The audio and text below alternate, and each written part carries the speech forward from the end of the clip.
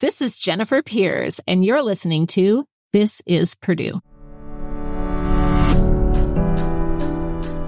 Hi, I'm Kate Young, and you're listening to This is Purdue, the official podcast for Purdue University. As a Purdue alum and Indiana native, I know firsthand about the family of students and professors who are in it together, persistently pursuing and relentlessly rethinking. Who are the next game changers, difference makers, ceiling breakers, innovators? Who are these Boilermakers? Join me as we feature students, faculty, and alumni taking small steps toward their giant leaps and inspiring others to do the same. I really wanted to just see the world. And I knew that Purdue would allow me to do that. I think that was the biggest thing for me was the name recognition, the rigor of the curriculum. I knew that when I graduated, I'd be able to go anywhere in the world.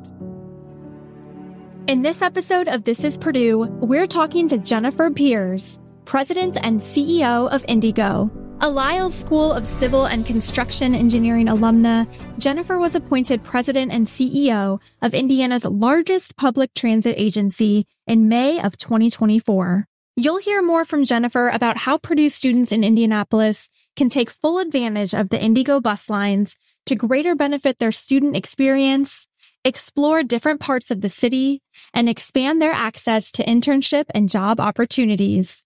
You'll also learn more about Jennifer's vision for the future of public transportation in Indianapolis, including the recent opening of IndyGo's Purple Line and the upcoming opening of the Blue Line in 2027. And how do large events in downtown Indy, such as the recent 2024 NBA All-Star game in February, or, you know, the biggest pop star in the world touring the city for three nights, help to grow IndyGo ridership? She shares more on all of this as well. Plus, we dig into how Jennifer's civil engineering degrees from Purdue helped prepare her for her role leading IndyGo. Okay, let's get to it. Here's my conversation with Jennifer. Jennifer, thank you so much for joining This is Purdue. This is our official university podcast. We're excited to dive into, you know, your past Purdue journey, your current journey leading IndyGo, which is Indiana's largest public transit agency. So we're excited to get started. Me too. Thank you for having me. Absolutely. So recently in May, you were appointed to president and CEO of IndyGo. And this just benefits so much of the Indianapolis community. And now it's supporting our Purdue students in Indianapolis as well. So tell us a little bit about your background with IndyGo and how has it felt, you know, taking on this new leadership role? I started working with IndyGo as my client when I was in the engineering consulting industry. I think it was back in like 2004. So I've been working with IndyGo for a long time and just got the pleasure of working for IndyGo starting in 2020. So I started in April 2020, height of the pandemic. I had, oh gosh, so let me go backwards again. The things that I had worked on with IndyGo, the first job that I had working with IndyGo was to identify bus stops throughout the city and find places where we could put shelters in. So it's always a goal of IndyGo's to make our stops more accessible and more comfortable for our passengers. So that was our job. We had to find a hundred places to put shelters on the street and it sounded easy at the time. I came quickly to learn about the challenges of public transportation. So that was first job. Did a number of things over the years, worked on facility, HVAC improvements, lighting, security did a the alternatives analysis for the red line which was the original study to help identify what streets the red line should run on where the station should be and so was super thrilled when IndyGo called me and asked if i would come over in the role of chief development officer. So that was in charge of all of the planning and engineering for not only our bus infrastructure but also our facility infrastructure. So again did that in april 2020 started. There was nobody in the office. We were working from home for a very short period when you compare it to other businesses. Uh, I want to say it was only five or six weeks, but I started during those five or six weeks and uh, got right to work. So did that role for about four years uh, when I was asked to jump in as the interim CEO when our previous CEO uh, departed. So it's been great. There's so much to learn. I've always really gotten a lot of energy from learning new things and exploring new things. And so this has been just tremendously fun getting to learn all the different pieces of the work that we do, digging in a little bit deeper than I did in my previous role and getting to meet so many new people. So it's been great. I want to go back to engineering. You got your bachelor's degree in civil engineering in 1995 from Purdue and then your master's in civil engineering in 1997. Let's talk a little bit about your Purdue experience. Why did you decide to pursue civil engineering and why Purdue? I grew up in a small town in Wisconsin and really was just looking for an opportunity to see what was outside of the borders. We were just outside of Minneapolis, St. Paul. So University of Minnesota was an option. University of Wisconsin was an option, but I really wanted to just see the world. And I knew that Purdue would allow me to do that. I think that was the biggest thing for me was the name recognition, the rigor of the curriculum. I knew that when I graduated, I'd be able to go anywhere in the world. And so that was exciting to me. And I envisioned myself, yeah, big city on the coast somewhere, mountains, ocean, all of that. And so that's why I picked Purdue. So I actually started out in aeronautical engineering oh. and I look back, I think that was how I convinced my parents to let me go to Purdue at, with out of state tuition was, was, uh, I'm going to be a, I'm going to be an astronaut mom. But I quickly learned that I gravitated to something a little bit, I say concrete, which is kind of funny because it's not meant to be a pun, but something that I can see and feel and touch felt a little bit more comfortable to me. And then I also just felt like civil engineering gave me more flexibility on where I could live and and the different options of what I could do. I think I came to civil engineering or engineering in general, not really knowing what I was getting into, but liking math and thinking that that was a good career for a woman to be in. And then I just sort of found my way from there, just little steps at a time. So I started in aero and then I went into civil and I picked structural and then I moved into transportation. So just sort of narrowing and finding my groove along the way. Yeah. And that makes sense. Civil engineering has a few more career paths probably than some of the other engineering yeah. verticals. It felt so, like it to me at least. Yes. Yeah, absolutely. You know, reflecting back on your time at Purdue, are you able to share any favorite memories, classes, mentors, professors who influenced your career path today? So many, so many. I'll try to keep it brief. I'd say the biggest thing that I influenced me in my time at, at Purdue was being part of the Purdue Engineering Student Council. I met so many friends there, met my husband there. We were both on the council together and just had an opportunity to try out leadership roles, kind of pique the creative juices that, you know, I might not get in statics and dynamics classes. So that time and the things that I learned and the people I met, you know, stay with me, of course, today. Absolutely. A couple professors who jumped to mind. First of all is John Fricker. He taught the transportation classes and sort of showed me the softer side of civil engineering. So more of the transportation planning, the studies, which really spoke to me. I was, like I said, was good at math and I liked the math end of engineering, but I'm probably not the traditional sit behind a computer, do research, that type of thing. So it was nice to see ways in which I could build my career and sort of the gray areas. So it wasn't all calculations. There's not always a right or wrong answer. There's a lot of trade offs and I liked that about the work. So John Fricker unfortunately passed away a few years ago. So I never, I think I got to tell him a little bit about how much he meant to me, but I'll take this opportunity to, to reinforce that. And then Kumares Sinha was another one. He was my advisor in graduate school. And I think he's still maybe haunting the halls of civil engineering. I hope so, but great guy, fabulous mentor was especially in my graduate career, really important to my development. So as a Boilermaker, how did Jennifer's Purdue education prepare her for her role at IndyGo? I asked her about any specific skills or experiences from Purdue that she's found especially valuable in her current role. Plus, we dive into how IndyGo supports Purdue students in Indianapolis by providing accessible and efficient transportation options. Oh gosh, lots of ways. I would say the leadership opportunities at Purdue Engineering Student Council. I was in Chi Epsilon, having a chance to lead initiatives, be creative, work directly with faculty was important. And then I think the overall rigor of the program. I was chatting with my husband about this last night because he's also a civil engineer. And I think that Purdue sets the expectation of success and so I think we both agreed that that meant a lot. You know, you were expected to show up at that first industrial roundtable and be in a suit and have a resume. And, you know, you're 18 years old and this is all yeah. foreign, but they really kind of throw you into things and expect that you will figure it out and succeed. And I think those skills work all the way through your life. Absolutely. Our biggest Boilermaker development right now is in Indy. And we're really excited about our expansion with our new urban campus in Indianapolis. How will these Purdue students benefit from IndyGo's transportation options? We have a wonderful network and Indianapolis is a walkable downtown. It is one of the reasons why we draw so many conventions. It's easy to get around and the campus is right on the edge of so many great parts of our community. The transit system connects the campus with the downtown. And so I like to think it just gets us a little bit further. It will allow students to access housing that maybe is a little bit further away than they would be able to get otherwise.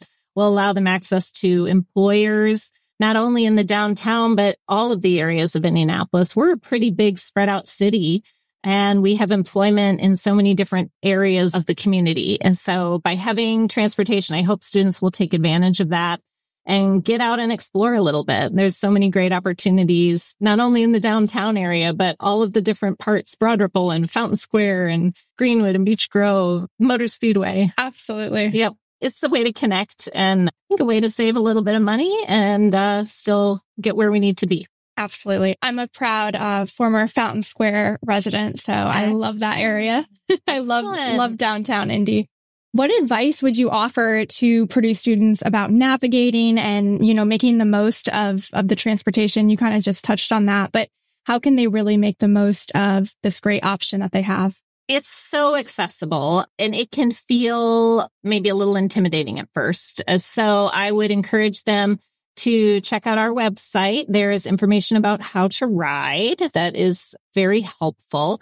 They also should sign up for our social media channels and follow those because we have a lot of fun social media content that not only uh, teaches them about how to ride, but how to pay for our service and then also how to connect with our community. So definitely sign up for our social media channels and then eh, get a buddy and explore a little bit. I also want to encourage people to reach out to the operators. You know, when they get on the bus, uh, the operators know the city better than anyone else. We don't have operators who are assigned to specific routes.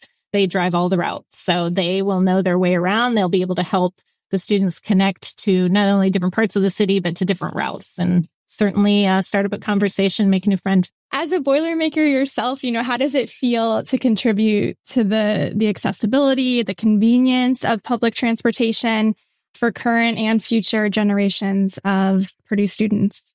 It feels great. Our bus rapid transit lines are so exciting to be a part of. They are really groundbreaking. It's surprising. We have had so many agencies from all over the country come and learn about our bus rapid transit. So being able to provide that premium service to community and to the students, uh, really excited about. So I hope students will take advantage of that. I'm confident it will be a great experience for them.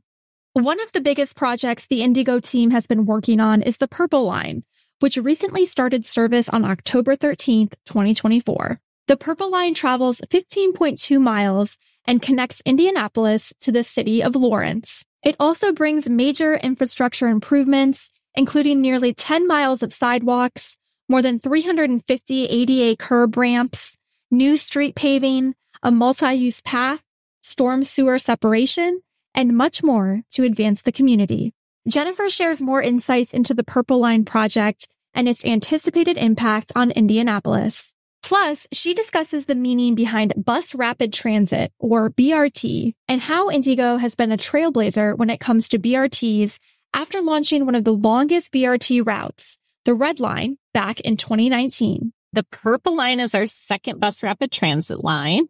It is 15 miles and it goes out of downtown and follows the red line north to 38th Street. And then it continues east on 38th Street to Post Road to the city of Lawrence.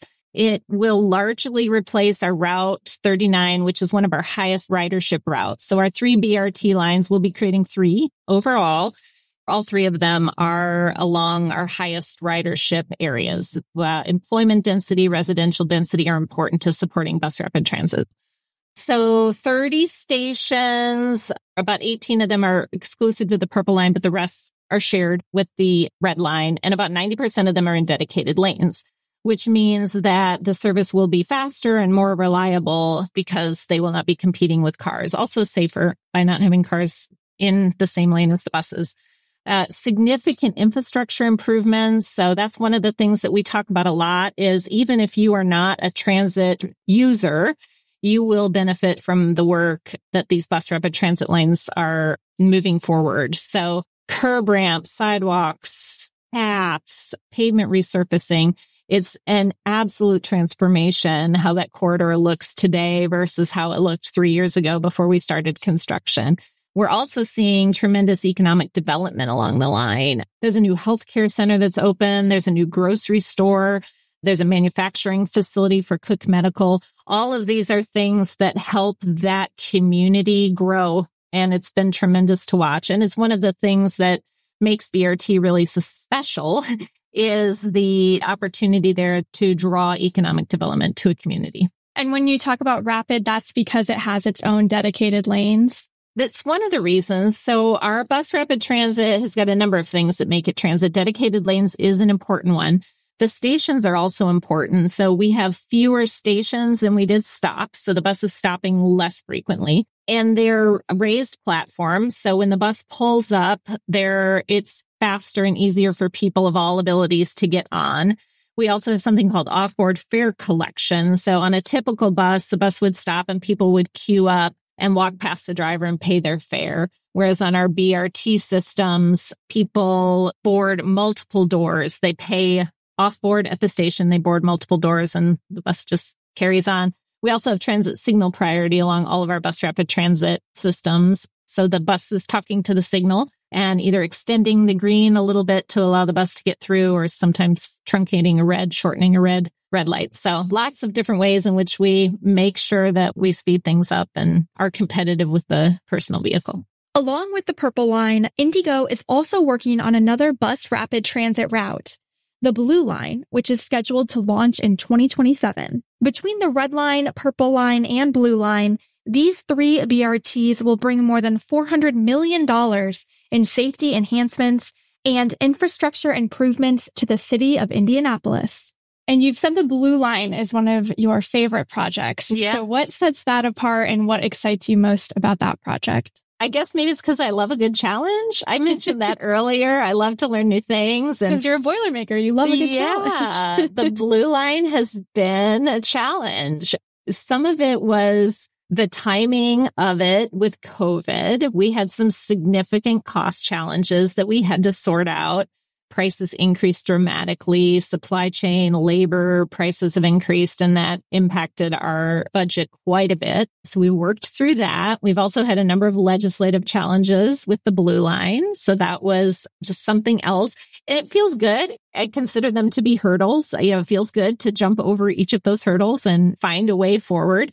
And I'm really confident that we are going to find a way forward. We are super close. The design's almost done and uh, we'll be putting it out for bid here and hope to be under construction by the time that the snow melts next year. so hopefully March, February or March. We're really excited about it. It's probably the project I've been working on the longest. I was involved uh, kind of alongside of it when it was going through the alternatives analysis stage. That was in 2013. Wow. And uh, we will start construction 2025 and be done in 2027 or 2028. So I will have a dozen years of my life working on the blue line. A lot of people are super excited because it connects to the airport. It's 24 miles long east west and it's the culmination of our vision. So tell us a little bit about how it differs from the purple line. You said it goes through the airport. That's really important, obviously. Yeah. So the red line is our first one and it goes north south through downtown. The purple line is entirely north of downtown and goes off to the northeast. And then, yeah, the blue line is east west. So altogether, they're intended to form the spine or the backbone of our system and the local routes weave into it. So all of the local routes are also being improved through our Marion County Transit Plan and people will be able to go between the local routes and the BRTs, free transfers between the lines to get where they need to go. So overall, once the Marion County Transit Plan is completely implemented, we will have vastly improved service from where we were when we started. We just talked about challenges. Is there another specific challenge you've faced throughout your time at IndyGo and how did you persist and work through it? I hate to dwell on it, but my biggest challenge was probably the legislative challenge that faced us this year. We have over multiple years faced legislative challenges in, I think people not entirely understanding the benefits that public transportation can bring to a community. I'll narrow it down to that. The bill that was brought forward this year, I had only been in this role for a month, month and a half when that bill was introduced. And it had the potential to kill the blue line altogether. So I worked with our government affairs team, with our government affairs consultants, got to know the legislators who had a stake in the game and had influence and just worked on educating them. And that's really all it was. I think it helped that I was an engineer to be able to just lay out the facts and talk about it from a technical perspective and take the emotion out of it, take the passion and agenda out of it. It's just, this is what it is. And these are the challenges that we face. And this is why we think it's important. And thankfully we came out at the end of that legislative session with the project able to move forward. So we're excited about that, but certainly was a challenge. I think just persistence and being honest and speaking the facts were what got us through.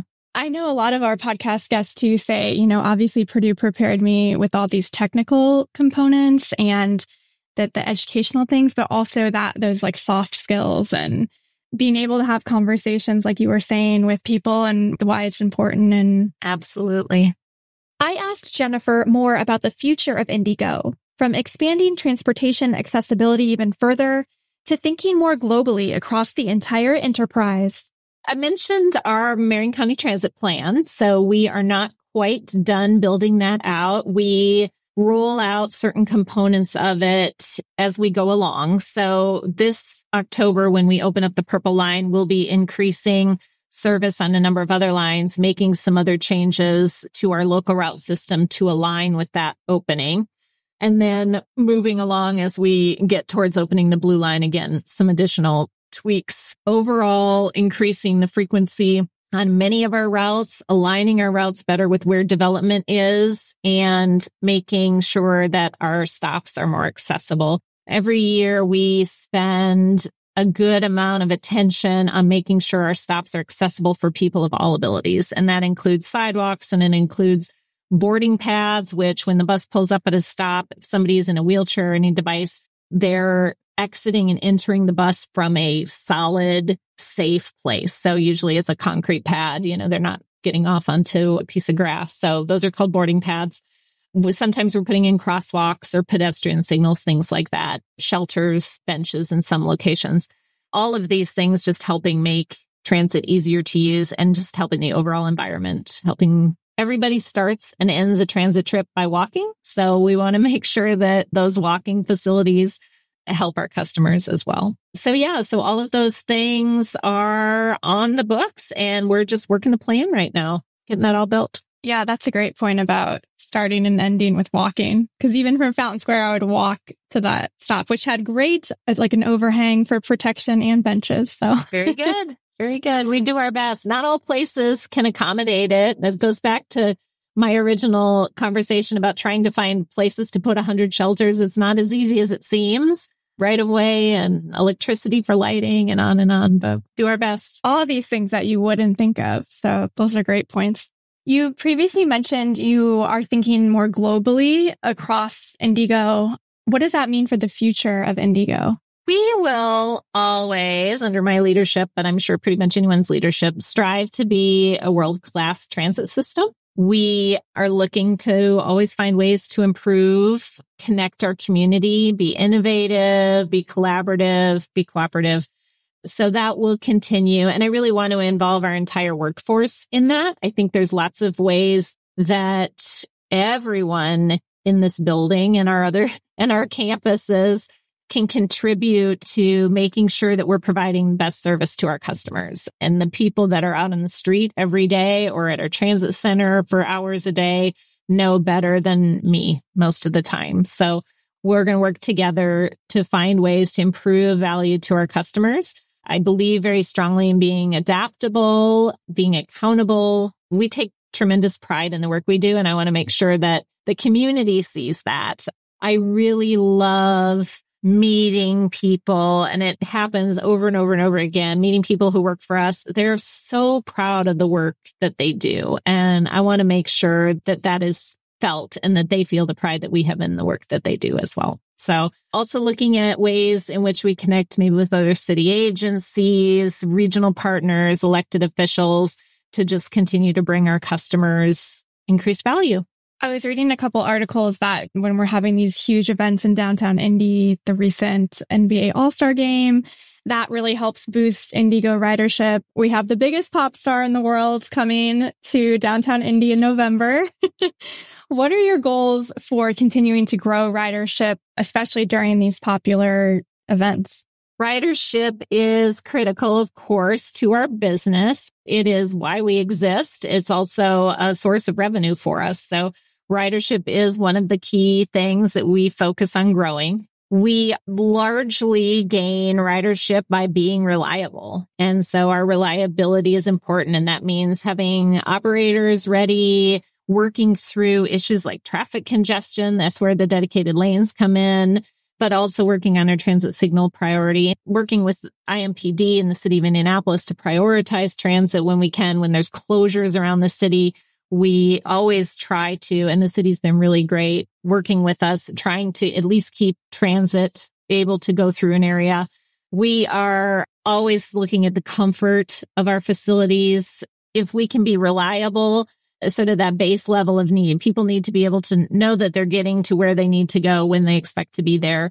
And then the comfort comes into it. So continuing to improve our stops and our stations and making sure that our buses are comfortable. And then frequency, of course, is important too. It's a lot easier to schedule your life around a bus that's coming every 10 minutes versus every 30 or 60. So frequency is super important to us and part of our Marion County Transit Plan objectives. Are there any other specific goals for IndyGo over the next few years? I know the blue line is a big one, like we talked about. Anything else? Sure is. Yes. so, of course, building out all of the things that we've promised, but we are also working on an update of our strategic plan. And there's three things that I really am going to focus the agency on over the next few years. One of them is ridership, building the ridership. We talk about finding that hidden demand and capitalizing on that. So the NBA All-Star weekend is, is like that, where that hidden demand is and how do we draw it out? Another one is protecting our operators and frontline workers. The world is changing and our our operators and the folks that work at the CTC with the public are running into some challenging situations sometimes. And we want to make sure that we give them the tools and the support that they need. So that is one of our strategic objectives. And then the third thing is fo- focusing on the long term future. Obviously, we have been spending a lot of time building and focusing on maintaining is, is our next step. So making sure that for the long run, we're fiscally responsible, that we continue to bring value to our customers and uh, that we're ready to meet the needs. What legacy do you hope to leave at IndyGo, but also within the city of Indianapolis? I don't think a lot about my legacy, but I guess I want to make sure I leave things better than when I started. So always looking for ways in which to improve small ways, big ways.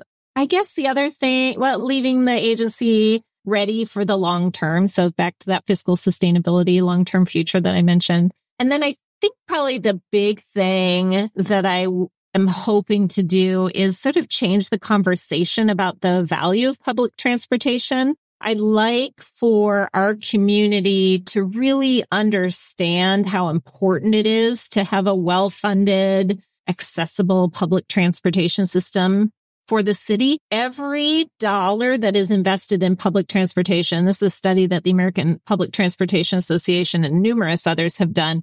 Every dollar that is put into the public transportation system reaps three to five dollars, depending on what study you look at, three to five dollars in benefit. And that comes from lots of things. Public transportation is sort of the great equalizer. It connects people to economic opportunity. It is safer way to travel than my car. It's also healthier. Some of that is that walking to and from, uh, gets people active. It also reduces mental stress. It connects people with each other. People can save money, reduce gas consumption, reduces traffic congestion on the roads. We tend to, I think, underestimate, undervalue the impact that public transportation can have on communities. Another thing it does that we don't talk about very much is it allows us to build more densely, which then reduces the sprawl that eats up farmland and requires us to build highways and more roads. It allows us to use our resources more wisely and efficiently if we can be more dense.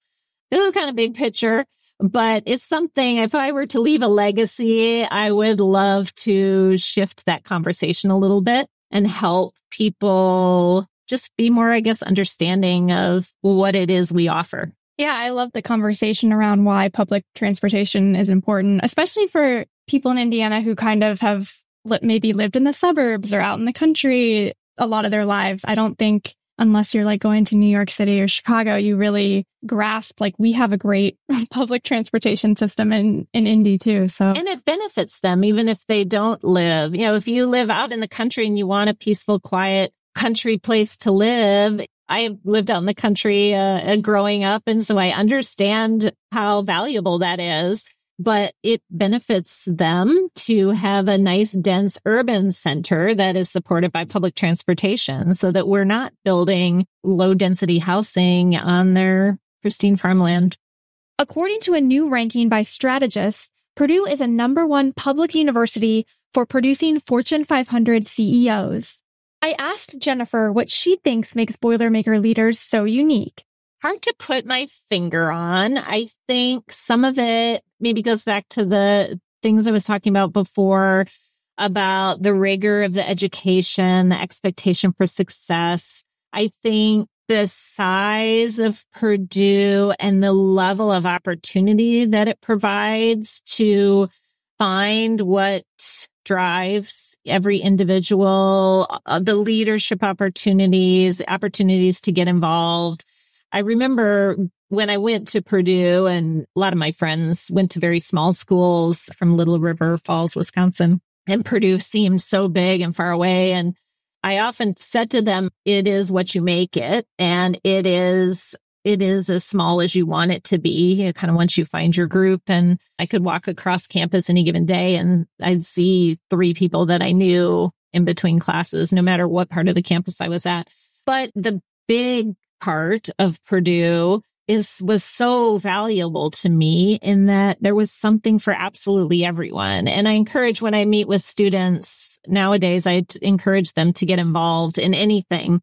If I'm hiring a civil engineer, they don't have to be the leader of the ASCE or SWE or one of the engineering related organizations. They can be the head of the bowling team or they can be the head of the uh, you know, Grand Prix stuff there are so many opportunities. Anything you want is available to you. So I think that helps build a lot, as you were saying too, right? A lot of skills that you don't necessarily get in the classroom.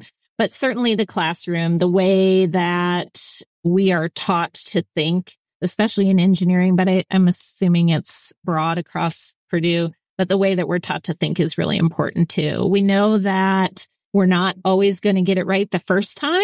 So that scientific method thing, right? is we learn to put out a hypothesis and test it and then not get discouraged when it doesn't work. We know how to find the tweaks that need to be made to make it better, better, better, better until we get it right. That's my theory. Jennifer ends with her next giant leap and one last note on the value and importance of public transportation opening the purple line in October and getting the blue line under construction are huge focuses for me. We also are going to be building a new fleet terminal and maintenance facility. So those I would consider giant leaps in the future of IndyGo, at least. As for me personally, you know, I kind of learned not to plan it all out. I used to be a big planner and I had, you know, my whole life mapped out. I mentioned, you know, I was going to live in this big city and mountains and oceans and everything else. And my life turned out different than I imagined when I was 18, but probably like way better also. I've just, as I get older, realize that sometimes you just got to take life as it comes and you'll be rewarded with all sorts of unexpected, wonderful things. So I'm thrilled to be in the position I'm at. I have no idea what will be next.